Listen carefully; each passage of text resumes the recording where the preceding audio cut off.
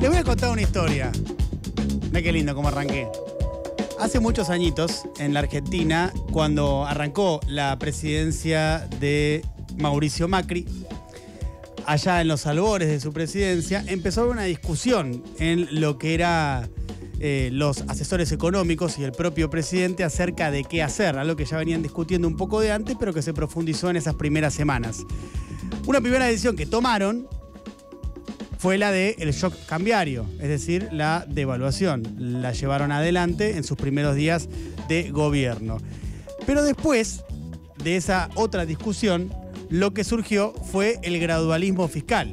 Había algunos que le decían hay que ir con todo, y Macri un poquito se inclinaba más para ese lado, pero había otros que le decían no, hay que hacer un gradualismo fiscal porque si no te la pones de sombrero.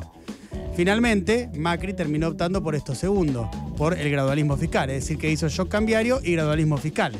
Algo de lo que Macri se lamenta hasta el día de hoy, ya en infinidad de oportunidades ha comentado que él quería eh, hacer otra cosa. Es curioso porque el que termina decidiendo eso es él, pero él ahora la reversión, ya en sus libros, en declaraciones, en entrevistas, es que él intentó hacer otra cosa, pero ¿qué pasó? Aparecieron todos de aquellos de los cuales Macri ya se eh, limpió, ya se los sacó de encima. Eh, en aquel entonces habían aparecido los peronistas, digo, Monzó, Frigerio, Mazot, los radicales, la coalición cívica, incluso una parte del PRO también, en la que, repito, le decían esta cuestión de, che, guarda que te la vas a poner de sombrero, nos la vamos a poner de sombrero, y entonces fue yo cambiario y gradualismo eh, fiscal. Lo que pasa que ahora, en esta nueva situación, años después, donde el presidente es Milei y hay un Macri fantasmal ahí que todo lo ve y todo lo recorre, eh, donde claramente hay una coincidencia de intereses entre Milei y Macri para avanzar, al menos por lo que están diciendo, en dos líneas en paralelo, como no pudo hacer o finalmente no hizo Macri al inicio de su gobierno, que es la de shock cambiario y shock fiscal, ¿no? Avanzar con las dos cosas a la vez. Eh, lo cual es eh, muy riesgoso, muy aventurado y además tiene muchísimas probabilidades de salir muy muy mal. En todos los multiversos posibles son muy pocos en los que puede llegar a salir bien, además de que en todos los multiversos posibles va a haber mucho dolor en el medio. Eh, el shock cambiario sería, ¿qué? ¿Llevar el dólar a cuánto? ¿A mil? ¿A los tipos de cambio paralelo? Bueno, es una hipótesis probable, depende de quién agarre el Ministerio de Economía, que todavía no lo sabemos, pero que suena fuerte el nombre de Sturzenegger, si bien no está confirmado, ni tampoco es el único que está sonando. El shock fiscal es la motosierra, está claro, y ahí las jubilaciones y el gasto social, eh, o el gasto social con las jubilaciones incluidas dentro, bueno, figuran como eh, un foco a meterle duro, duro, duro por parte de Milei con la veña y el empuje y el auspicio y el sponsor, todo junto de eh, Mauricio Macri. Es decir, el ajuste fiscal que Mauricio Macri no hizo como él cree que debió haber hecho durante su presidencia. Recordemos que Milei el domingo, ayer escuchábamos eh, las palabras del presidente electo, lo primero que hizo en su discurso de celebración de la victoria fue decir che, sabemos que hay gente que se va a resistir a lo que Milei denomina el sistema de privilegios. Vaya a saber qué incluye Milei en el sistema de privilegios, ¿no? Porque tal vez eh, las jubilaciones tal cual están las, incluye dentro de ese lugar. Así que bien cabría preguntarse hasta dónde alcanza la terminología de privilegios en palabra de el expresidente, de, perdón, del actual presidente electo mm, mm, Javier Milei. Una pista, perdón, digo, es la obra pública.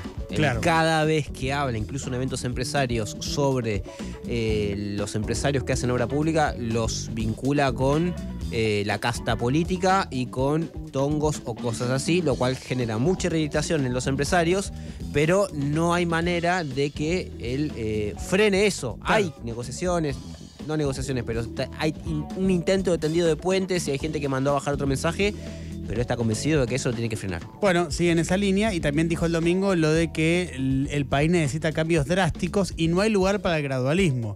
Esto es eh, música maravillosa en los oídos del expresidente Mauricio Macri. Fíjense cómo se, cómo se conectan las dos historias, la del principio del gobierno de Macri y la de este eh, previa e inicio próximamente del gobierno de Javier Milei. La diferencia entre los dos inicios no es menor, porque si vos eh, ejecutás, como yo decía hace instantes, shock cambiario con shock fiscal al mismo tiempo, las consecuencias son impredecibles, pero la certeza es que serán muy, pero muy dolorosas para un amplísimo sector de la sociedad argentina. Esto claramente eh, no es una genialidad lo que estoy diciendo, por supuesto que Milei y Macri lo saben.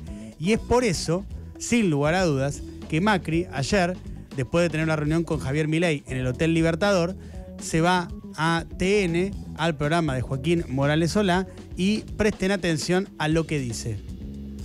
Los jóvenes no se van a quedar en casa si estos señores empiezan a tirar toneladas de piedra. Los jóvenes van a ir a defender su oportunidad. Entonces, ellos van a tener que medir muy bien los orcos, como lo que, yo cuando quieran salir a la calle, lo que hay que hacer desmanes.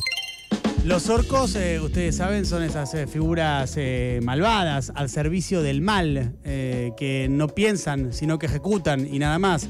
Bueno, esa es la concepción que tiene el expresidente de todos aquellos que se opongan a las medidas que pueda llevar adelante Javier Milei. Es muy despectivo, es muy violento, es muy temerario lo que hace Macri, porque claro, si eso llega a suceder, si hay argentinos contra argentinos enfrentándose en, en la calle, él lo va a ver desde alguna de sus quintas, otra vez desde el exterior, mientras esté haciendo algún viajecito con la Fundación FIFA.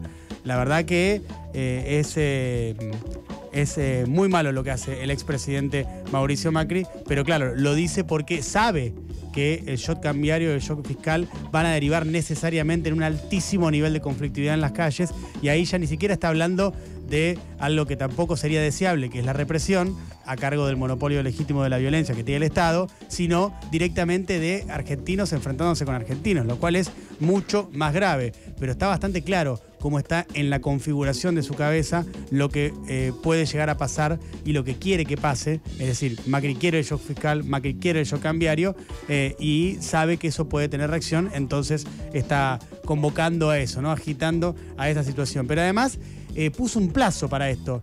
No sé si es algo que conversó con Javier Milei, no me consta, o si se lo pone también a Javier Milei como tirándole la chique, como diciéndole, lo tenés que hacer ya, y lo dice públicamente. Lo dijo de la siguiente manera. Yo creo que tenemos seis meses por delante durísimos, durísimos donde el presidente electo tiene que estabilizar la Argentina. Y él lo tiene claro.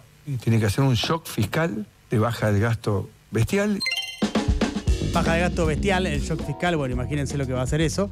Eh, y eh, seis meses, es bastante claro, ¿no? Lo está diciendo. Digo, es lo que le está dando a Javier Milei. No me consta si lo han conversado o no, pero lo está diciendo públicamente. Bueno, este es más o menos el escenario con eh, un Macri sumamente activo y con las cosas y las ideas muy, pero muy claras.